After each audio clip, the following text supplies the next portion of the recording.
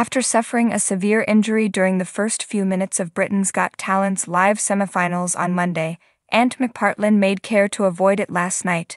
With minor modifications, Ant McPartlin, 47, and Declan Donnelly, 47, told viewers they would be ready to take the stage again on Tuesday night for the second round of the talent competition semifinals. Before their next live show, the TV pair posted a sharp photo of themselves in matching suits in front of a dazzling Union Jack flag to Twitter in response to Ant's tragic fall. Suited, booted, extra grip requested, they wrote, prepared for day two of the hashtag BGT semifinals.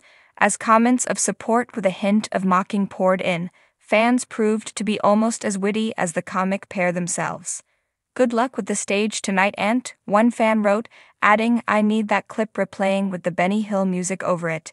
Dec gave his friend a special gift as well, saying in a Twitter video as he took out a gyroscopic cup holder, If you had been carrying a hot beverage, it could have been catastrophe.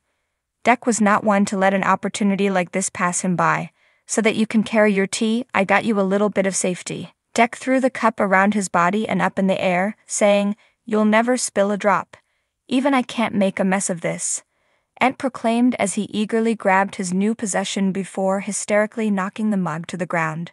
As he and Dec ran onto the stage amid smoke and sparklers at the start of Monday's live program, Ant took a horrific tumble.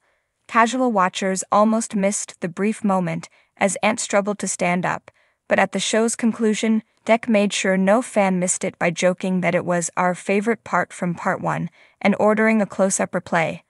The slow motion clip showed Ant slipping in, losing his footing as his one foot swung wildly at eye level, falling to the ground and shocking everyone on stage. Fans of the Geordie duo immediately expressed their support and concern online, but Dec quickly responded on Instagram to reassure them that his partner was in fact well, with only a few aches.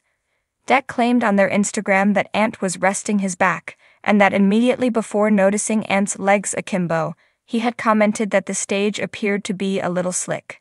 It's a little sore, like Ant said. I believe that adrenaline helps you get through that at first, but after a while it's more like, ooh, I need a bit of ice on that. Numerous followers have flooded social media with jokes and remarks about the incident, with many humorously pointing Ant in the direction of workers' compensation organizations. Thanks for watching this video. Please subscribe to our channel, Daily Talent Show, and stay with us.